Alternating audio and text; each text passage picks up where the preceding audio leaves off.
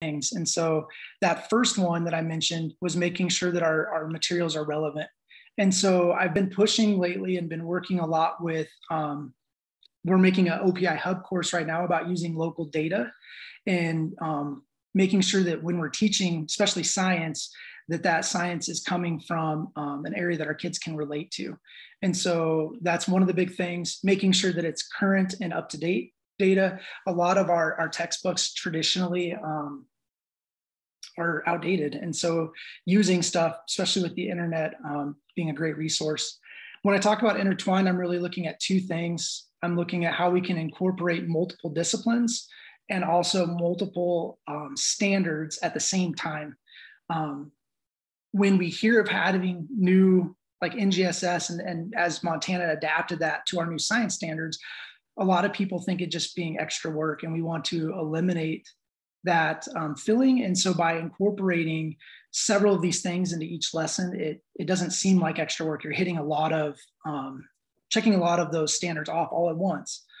Um, making sure that we're using the current standards. And so when I look at those, how are we incorporating the Common Core in our classroom? How is Indian Ed for All being implemented in that?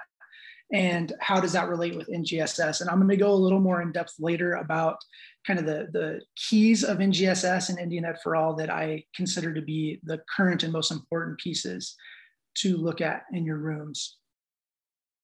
And then finally, my last kind of bullet on being the change is making sure that our work is student driven. And so the, the question that I constantly ask at the end of even a lesson, at the end of a, when I have my first break for the day, I, I just try to ask myself, who is doing the the heavy lifting? Who's doing a lot of the the thinking and and all that? And if i constantly see myself being the one that's been leading all of the discussions that's been doing the heavy lifting um, and the talking then I, I, need to think about a different way to get my students really running um, the show. And i think by using indian ed for all it that's one of many ways um, that we can get buy-in from a lot of our students and especially um, our native american students so I guess um, many of you are obviously at the best practices conference because you understand the importance of integrating Indian Ed for All. But I think um, I think it's important that we really talk about why why it's important to use with our students. Um, so recently, my wife and I traveled to Salt Lake City, and we were in the city and we were looking um, for like a quick hike that we could do um, in the area. And we had our youngest daughter with us, and so we didn't want it to be too long. And we were looking around and we saw that right behind the Capitol building, there's a, a short trail that takes you to Ensign Peak. Um, kind of reminiscent to like the M trail, other than with the switchbacks, it's a little more um, straight up and a little bit shorter. And so, um, me being a history nerd, I wanted to, to go up there and read all the signs that they had along the way. And so we started walking up um, Ensign Peak and when you get to the top, it overlooks the Salt Lake uh, Valley and it's beautiful. And, and along the way, um, especially at the top, there's several signs. There's an old survey map of the Salt Lake Valley where they talk about the different drainages and where Salt Lake is. And there's a lot of signs about um, when the Mormons uh, or the Latter day Saints first came into um, that part of Utah. Um, two days after coming into the Salt Lake Valley, Brigham Young and seven other um, Mormons, uh, elders, or people uh, of the party that were there, they climbed to the top of that peak and kind of planned out where uh, they were going to lay the city and where buildings were going to be built. And Brigham Young said that that peak had been shown to him in several of his visions. And so that happened in 1847. And so we read all these signs at the top and then we go back down to the bottom of the hill, and there's a whole park there, and there's several historical signs, all talking about um, the vision that Brigham Young had, talking about how many people came over um, with that first group of Latter Day Saints, um, and all of the the things that they noticed and why Ensign Peak was so important to them. Um, and so in 1934, they built a monument at the top.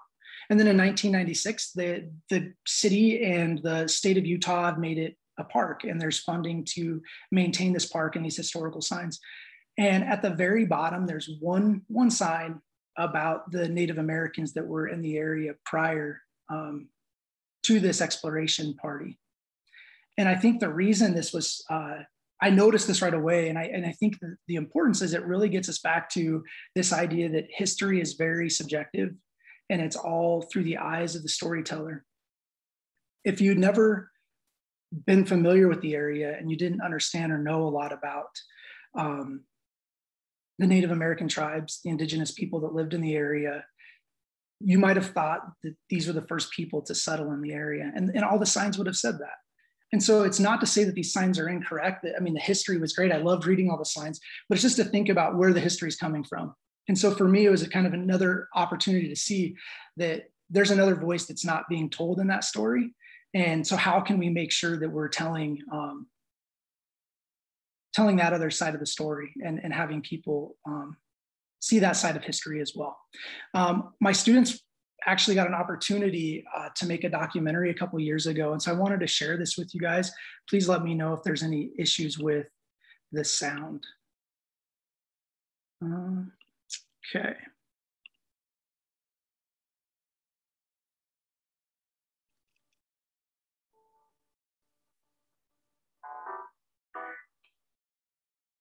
For me, I think it's that we're just like anybody else. We a lot of people might think that we still ride horses. That's what I've like personally have encountered from people where I've gone to Vegas for basketball. They think I still live in a teepee or um, ride horses, but we're just like any other people or any other um, culture, race, all equal.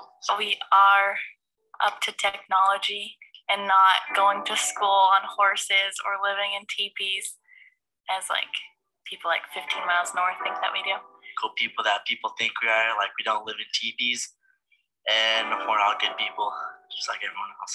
They're very stereotypical on what a Native American should look like. We're not all the same people. Um, we're really, really different in like cultural. Culturally, we're really different. Physically, we're really different now learn that there's more than one culture of Native Americans and there's a lot of different things to know about each culture. Like not all, each culture does the same thing as the other ones. Emotionally, we're all really different. I'm thinking back to a long time ago, I've always heard suicide was not a big thing, and now it, in the Indian community, in Indian country, it's it's big. It's it's another epidemic. It's like the, the smallpox. It's it just spread it quick. They always try to group us in one big group because we're totally different. Like East and West Coast, totally different stuff. The challenges I face is being a typical Indian. the the whole al- being an alcoholic, growing up to be an alcoholic. I'm just I stay on the res. I'm gonna do do bad. I'm gonna be I'm gonna be a crime. I'm so a criminal of some sort. I'm not gonna go anywhere, and I'm I'm just really gonna go down a dark path. Like a lot of people think Native Americans are like sleazy and drunks and like to steal, but not all of them are like that. And I don't know, a lot of people think that Native Americans can't go further in the world and are gonna fail and stuff like that. All the most of the Indians are drinking and stuff. You can see them. They're all out in the open, and pretty much when you grow up in that environment, you start to drink at a young age, and it just takes you over. Like trying to fight off the drugs, like everybody just dances around the reservation, stuff like that. I feel like I'm underestimated a lot because it's stereotyped that Native Americans drink and that they're going to be drug addicts and alcoholics and not go to college, not go to school. And I have hopes and dreams. My siblings have hopes and dreams, and I have I hold them to a big expectation like my grandmother held me to. And you know, I want to go to college. I want to build a career. I want to be a lawyer. I want to make this big life for myself. And most people don't think I can do that just because of being Native American. My future, I hope to go to college and then maybe help with my culture and teach my kids about the culture and stuff. Be successful and hopefully get a scholarship to go play basketball somewhere. I hope to become a first grade teacher and feel like I can be really successful at that. Um, I want to play basketball. I want to go to college play basketball. To well, play basketball, and if not, to be an architect. I want to go to like college for like baseball and basketball. My hope for the future is that um, we're really looked at differently. We're accepted a lot more. People know us a bit more. Um, just that people actually see who we are and that we're not just like these dirty savages. Um, I just really hope that our people are known. I hope that we can rebuild our culture to be as big as it used to be. My family's always been really big into my culture and we follow like we go to ceremonies and sometimes we still speak our language and you know I still learn a bunch of stuff and I want to get the younger generation into that so that we don't lose it.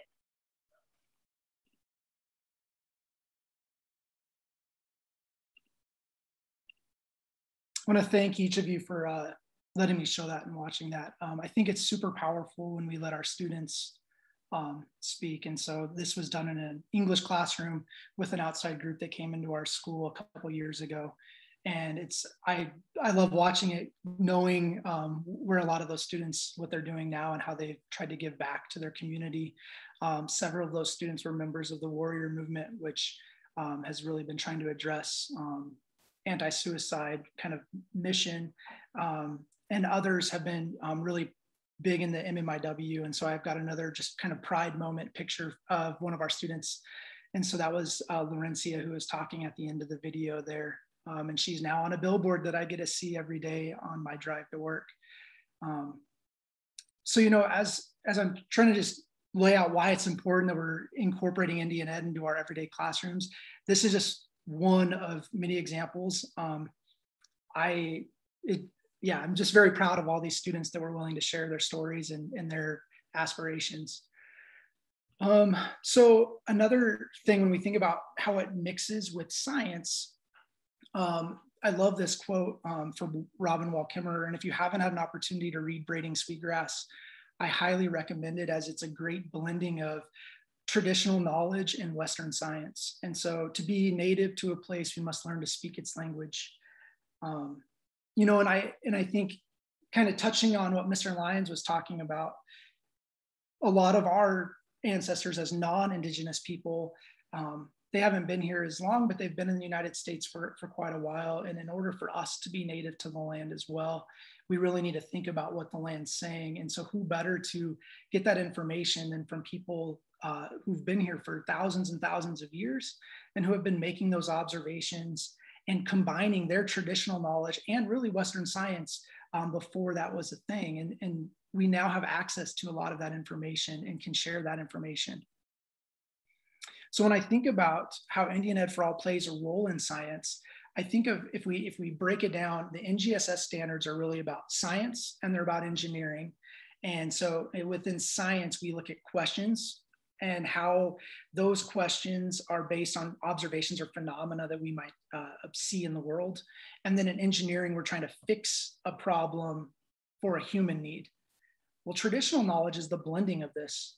They had human needs that were being answered with questions and created with questions. And so when we think about things like wildlife management, traditionally Native Americans and the indigenous people of the United States had been, had been doing wildlife management long before we called it wildlife management. And when we think about migration patterns and the understanding of migration from a Western science thing, we might look at why are animals moving? Within traditional knowledge, it was a matter of needing to know where those animals were moving. And then with that came the knowledge of why. And so to me, traditional knowledge fits in this nice spot where it's giving us the Western science pieces we need, plus incorporating um, solving a problem that they had at the time. And we can then use that information as we move forward looking at our new um, science standards.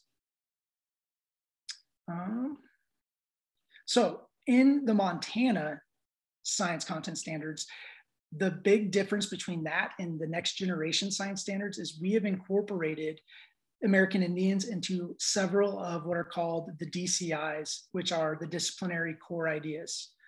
Um, let me just take a peek here. Um, so some examples of what that looks like.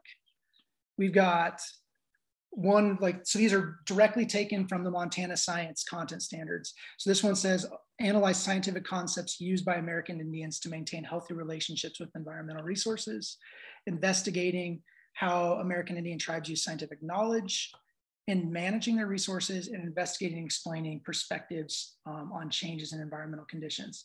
So these are kind of three that I handpicked because these are three that I primarily cover. But when you look in the Montana Science Content Standards, what you're going to see is in several of them this addition of um, the need to discuss and talk about American Indians. And so, how can we do that in a respectful manner? And what resources should we be using um, to incorporate that? And that's kind of where we're going to head now. So, how do we go about integrating them? I, I break this into three steps, and I'm going to show you a little bit about where to find and how to do some of these things. And then at the end, I'm going to take you to a resource that I created um, where you can get a little bit more information. But the first thing, the first key is making sure that we're using primary documents. I noticed some people mentioned how um, excited they were to have access to the 1775 treaty and how it can be difficult to find these primary documents. And so I'm going to show you a couple resources and places that I've looked um, more specific to the science classes that I teach. Um, but that's going to be step one. The second one is when we're in integrating Indian Ed for All, it's really just about focusing on those essential understandings. And, and Zach mentioned one earlier, um, history's perspective, and really that story that I was telling about Ensign Peak, that's what that was about. It's the idea that history is very subjective and it's based on the perception of the individual storyteller that's telling that history. Um, but we're going to look at a few of those other ones and how they might in integrate into a science classroom. Um, and then finally, when I think about science, I mentioned the DCIs, which are the disciplinary core ideas. But really, when it comes into integration to make it really complete, I, I think it's better to focus on the science practices. And that is the, um, the actual science skills that scientists do every day. And so, along with the, the content, the core ideas that we're supposed to teach, we're also supposed to teach our students the science practices and also supposed to teach the cross cutting concepts. So, that's kind of that idea there. Uh, Okay, so primary documents and resources. Where I usually start is I try to find videos, reports, tribally owned and ran websites or quotes that actually come from the tribes themselves. So a great starting point is going to the tribal websites and seeing what documentations and documents they have uploaded for, for where I teach, I primarily use CSKT documents, but I've also gone to other websites or other tribal colleges and got information. Um, one of the activities I do involves looking at wildlife management. And so I use the, there's a wolf documentation of how the CSKT plan and, and handle incidents with wolves on the reservation and how they want to manage the wolf population. Well, in doing that, I realized that that was only the perspective of this one tribe, and I wanted to compare, uh, or one group, sorry, three tribes, but wanted to compare their their governmental policies, obviously with the state of Montana. But I also went out and found other documents, and so I found that the Colville tribes in Washington on their reservation, they also have documentation about how to manage wolves. And so that was one example of where I just started Googling and, and looking on tribal websites to find information. I was pretty successful. Um, so that's that tribal website. And a lot of the tribes will have natural resource and wildlife management departments. And then I'm going to share some of the CSKT online education materials um, here at the end and show you where you can go to find some great information um, that's designed for teachers to use specifically. Another place that I found a lot of good stuff is just going on YouTube. Um, and OPI's got a, a, page on there, and then also the Montana Experience are just two examples um, there's a lot of other good examples, though, of channels that you can get um, Indigenous knowledge from and use with your students. So this is one example of using a primary doc. Uh, I'm gonna just give you guys a second to, to read uh, this part. So this is an excerpt from the Hellgate Treaty of 1855.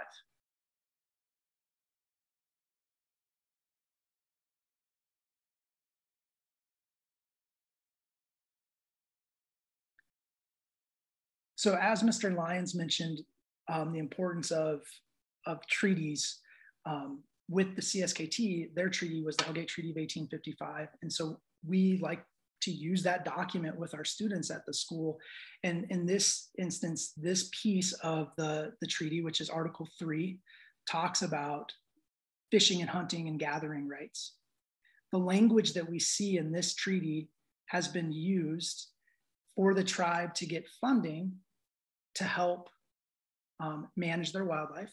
Also, during times of lawsuits. So, ARCO was sued um, in 1998. There was a settlement um, between the state of Montana, but also the Confederated Salish and Kootenai tribes with ARCO for the damage that was done on the upper uh, Clark Fork River Basin.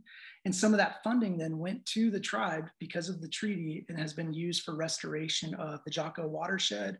And also, they're doing a restoration project in the Mowese area um, on the reservation to restore bull trout habitat and to help maintain the land um, back to its natural state. And so this is just one example of how we can talk about and have our kids read about the treaties. Um, in my wildlife class, I had several tribal members that had never read this particular passage of that treaty. And so that was really uh, fun to share with them a piece of the treaty that was signed by, by their tribe. Um, one thing to note about the, the treaty period, and, and that's really many of these treaties were created before states were created. And so what we run into in Montana is this treaty was was formed with the federal government and the Confederated Salish and Kootenai tribes, and there's um, been some contention then with the state and the tribe, and that has to do with the fact that the state wasn't in existence when the treaty was was signed, and so um, that plays a role in that sovereign part and why it's important to teach our students about sovereignty and why it's important to treat, teach our students about um, the Hellgate Treaty or any treaty. So the Hellgate Treaty is an example of um, what would they call a Stevens Treaty because it came from Isaac Stevens, who's the governor of the Washington Territory. And then the Blackfeet and the tribes in eastern, east of the divide are part of the um, Fort Laramie treaties, I believe of like 1871, if I'm not mistaken.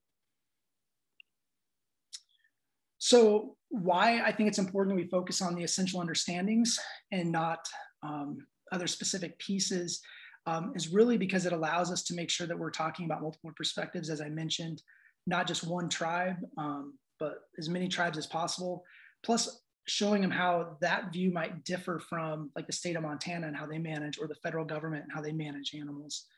Um, demonstrating the importance of culture. And as I just said, making sure our students understand that idea of sovereignty. So if we just think about the seven essential understandings, I'm going to throw the first four up I try to like break them into pieces that are easier for me to to understand than than sometimes the whole language. Um, it's important that we're obviously talking about the diversity among tribes, and you can see in that video how our students were were saying that Native Americans have been just lumped into these categories of all being the same, and they were very adamant that they are different and they come from different tribes and they're different individually. Um, today, you saw those students talking about how they still are practicing their culture and so there's a lot of misconceptions. And so this is one way to break down those misconceptions and those barriers that there's still culture um, being practiced today. Talking about the importance of reservations and the idea that the, the tribes ceded away a lot of their land for a small amount of land in these treaties. Um, but that's their land. And then during different periods of time, we have, um, and I'll get to that, I guess, during different periods, these federal policy periods, we had things like the Allotment Act. So on the Flathead Reservation, the, a lot of the land was was sold away from the tribe, and and so now we we see this changing happening on the reservation where they're trying to buy back a lot more of their land. Um, but these policy periods played a huge role in the, the formation and the shape of the reservations. With that, we had the treaty period, which I mentioned, um, signing those treaties prior to states being in existence, a lot of them. And then that allotment period and really the assimilation period where we had boarding schools and things like that, and that idea of trying to remove the culture. And so it's important that our students understand those different federal policy periods and how they play a role in, um, in our lives today. I've mentioned several times why it's important to use Indian Ed for All and the idea that history is very subjective and trying to get a different voice in our classrooms than just the voice that's in our textbooks in science, that voice typically is from Western scientists. And so I look for opportunities to how can I in, incorporate another voice um, into the conversation. And so when we're looking at things like the father of genetics, Gregor Mendel, um, we can talk about how selective breeding for for plants has been going on for a lot longer than than that. And and we didn't use the same terminology but tribal people were were taking certain crops at certain times for certain reasons. And and uh, that type of that type of perspective should be shared with our students. And then again the idea that tribes are sovereign nations and that they have treaties that are with the federal government and so they are their own government um, and so with with that then we get into now the science practices and how we're going to focus on these these eight things really um, so I, the eight main things we got, I'll go four at a time again. All scientists are asking questions and defining problems. All of them are developing and using models, planning and carrying out investigations and analyzing and interpreting data. So we want to focus on how can we take these practices that scientists are doing and talk about some of that traditional knowledge that was attained in the same fashion and show that overlap to our students. The other four practices are using math, computational thinking, constructing explanations, engaging in argument, and obtaining and evaluating um, information. And so I've created a couple different lesson plans, and then I'll share after the two that I that I've got on my website. Uh, I'll share some different ideas of things that I've started to piece together and that I just haven't created formal documents for yet. But really, the key then is when we're integrating Indian Ed for All, we want to make sure that we're doing the three things, which would be making sure that we're using primary sources or information coming directly from the tribes. Um, again, checking out their websites is usually a great place to start. If that isn't, if you're not finding what you're looking for, reaching out to the tribes themselves. They usually have an education department. Reaching out to OPI's Indian Ed division, reaching out to teachers on reservations, um, as a lot of them have extra resources as well.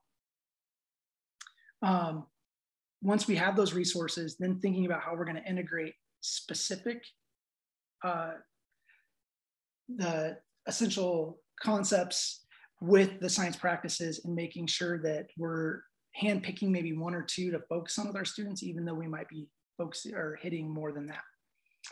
So real quick, I'm going to jump over to uh, this first resource, and there'll be a link uh, to this resource in the chat. So this is a website that I created um, that OPI helped uh, fund through a grant at the school that I work at. And so it's really about why we're integrating Indian Ed for All, how to, and then some examples. So there's some good resources that I've tried to put on here, and I will hopefully be adding some of these integrated lessons um, that I'm working on currently, but I just wanted to kind of go through a couple main things that are on here. So first, when we go into the how to integrate, you'll see those same bullets that I just kind of talked about and why um, it's important to do that in Montana and the fact that we actually have content standards that require us by law to integrate Indian Ed for All into our classrooms. I have linked some primary documents that I've used. These are long documents, a lot of them. I recommend going in and handpicking the parts that could be useful. Maybe it's a quote from an elder, maybe it's the mission statement, whatever that piece is. But you can see I've got a couple different wolf management plans, um, the Blackfeet climate change plan, and the CSKT climate change plan. These are extensive documents, hundreds of pages long. And so, like I said, it's important that you kind of go through and see um, what information could be useful. I also have several different um, videos that could be shown um, to your class with some context. So one, um, this first one um, by Shani, she's talking about how culture plays a role in her um, education as a scientist and how she does her research. And so she's uh, using obviously Western science to get this degree, but how that plays a role in traditional knowledge. And it's a great video and a great resource you could share with your students. Um, there, the CSKT has done a lot of videos on the story of bison. And so that's one example. We've got elders videos. Um, and then there's a field guide, and I'll show you that again um, here in a little bit. But the idea is trying to get resources with the voice of tribal elders and, and the tribes. Um, into that, that resource. A couple other things that could be really useful, and you can find these on OPI's website as well, but this evaluating American Indian material. So if you're just starting in your journey of trying to find primary documents and you're just not sure, or if you're looking at a book that you might want to use with your students that talks about Native American culture or perspective, this document that OPI has put together can kind of help walk you through making sure that the materials are appropriate for your students. Um, so I also have two fully created and integrated lessons on here. And like I mentioned, I'm working on a few others that uh, I've, I've, done in my classroom, but they're not quite as uh, fleshed out as these ones. The first one is a climate change lesson plan which would have your students looking at multiple perspectives um, and how to manage uh, our current situation with climate change. And so you can see if you go onto the website, you can just download the full lesson plans and you've got some PDFs that have all the data and materials that you would need um, to do that. And there's videos um, integrated with these lesson plans and different things, different um, perspective uh, from the tribes. I also put together one about wildlife crossings. And so if you're familiar with the Flathead Reservation as you're traveling north um, from Missoula um, on Highway 93, you'll get, when you get close to the casino, you're gonna notice a, a walking bridge for animals. And then there's gonna be a lot of big fencing you're gonna notice. The tribe worked with the Montana Department of Transportation and other organizations for quite some time in putting in a lot of animal crossing structures in order to minimize the impacts of vehicles and humans and wildlife. Um, and so I put together a lesson where it really has students look at the fact that there is a problem with humans hitting animals and how that uh, disrupts migration patterns and the cost, the financial cost of, of having these accidents occur and really looking at um, ways that these animal crossings can be utilized um, to help minimize this problem and then if it's financially worth it. And so it has us look at from the from a tribal scientist standpoint um, what's the cost benefit when we're talking about um, animals versus property damage and how they weigh that out versus maybe how um, how the state of montana might look at it which might be completely different. So anyway so these two lessons are up on the website and they're there for you guys to download and and mess around with and make changes and contact me and say, hey, I tried this and this didn't work very well. Do you have any other ideas? Um, but I just want to share that. And, and, like I said, I primarily have used these with high schoolers, but they can be modified. Um, so that's that's my website.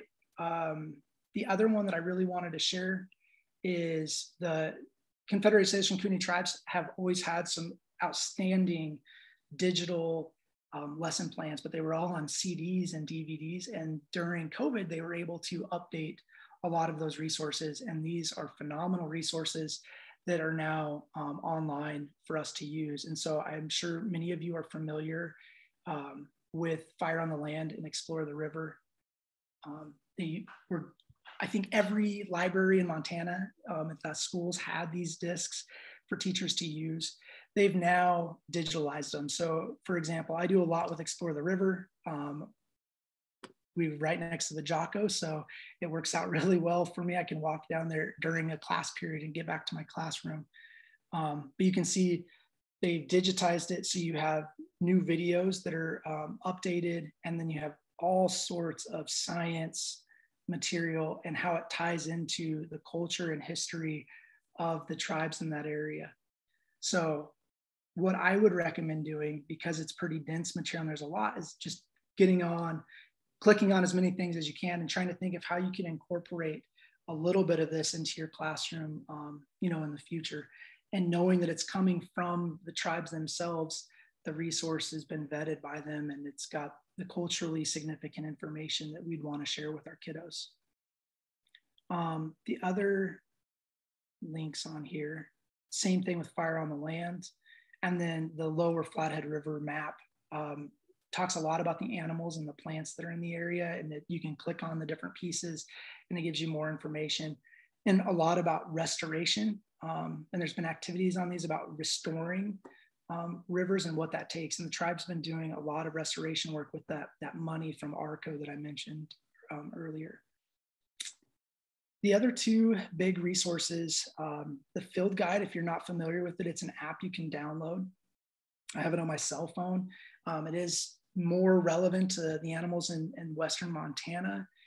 What is nice about it, it, has the names of the animals in Salish and in Kootenai, it um, spoken by elders. And so you can hear the names um, that way for people that are not Indigenous speakers. It also has cultural significance of the animal and how they're being impacted by climate change. So this becomes a great resource that you could quickly use. Nothing else, you could use it for students to do quick research on animals and get a cultural perspective on that animal, no matter what part of Montana you lived in. Um, so that could be a useful app to download. The Living Landscapes um, and Climate Project is very dense. There's a lot of stuff. And so I would recommend going on there for sure and just playing around. But I wanted to show you, um, for example, just a couple of these short, so they have these episodes that go along with different topics. And it also is regional. So this could be used really in any part of the United States. They have information. For Montana, you'd either be in the plateau or the plains region, depending on if you're east of the divide or not. But um, you can see that these were made by the tribe with tribal members in the video. So I'm just going to show you a clip of this one video and then um, then I'll jump off here. But this again is a more of a pride moment with one of my students who was in that other video. He got asked to do these videos and it's pretty great.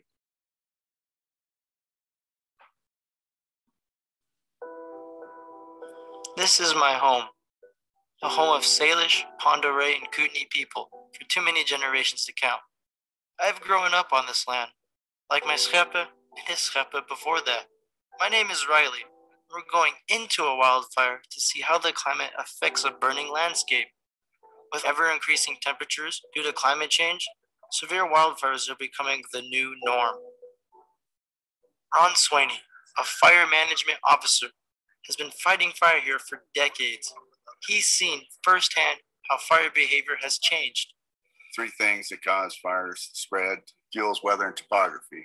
And uh, the only one that's the variable is the weather. We're getting hotter, we're getting drier, and the potential is is only increasing for, wildfire based on just the climatology and the changes that have occurred. So it's been a dramatic change, uh, both in the number of fires that we get and the amount of acres that we burn.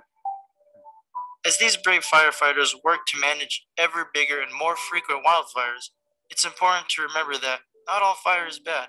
My Sepa tells me how the tribes use fire as a tool to care for the land. The forests were kept healthy by thousands of years of burning by our ancestors.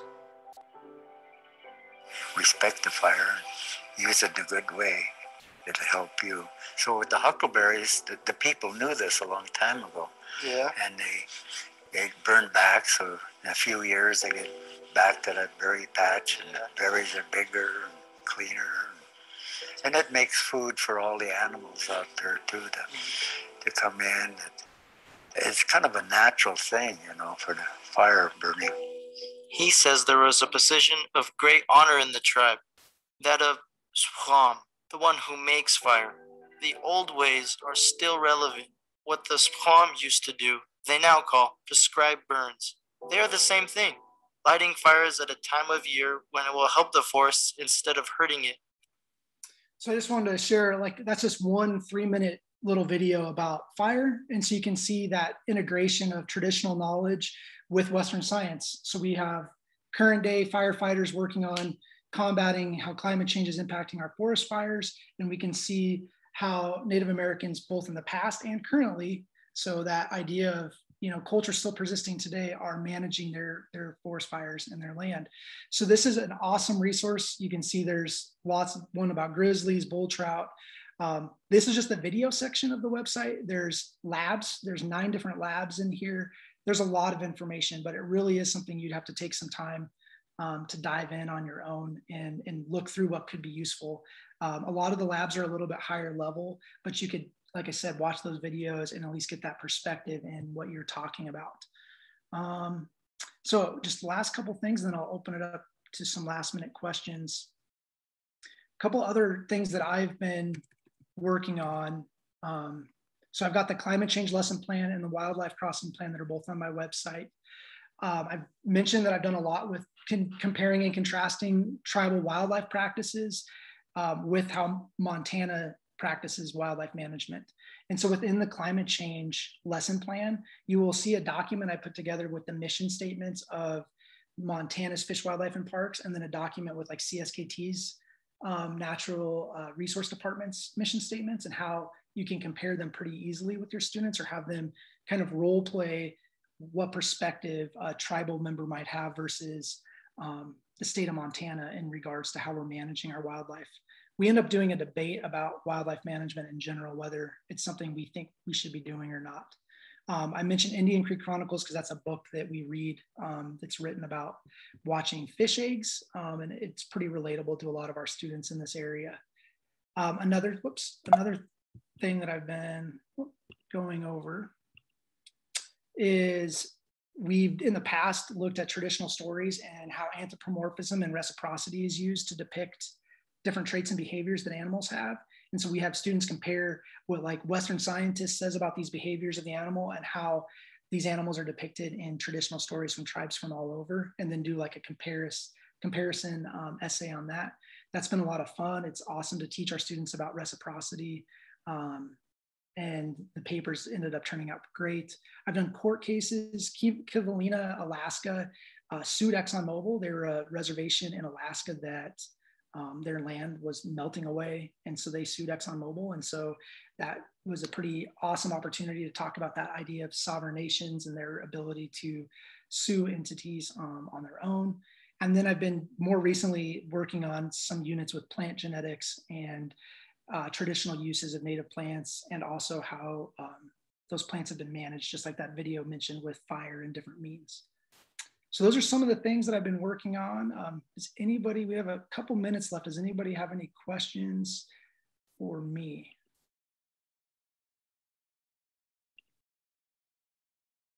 It looks like Jennifer's been throwing a lot of the resources into, um, into the chat. I also updated the folder. So I created a document that has all of the resources that Bill has discussed.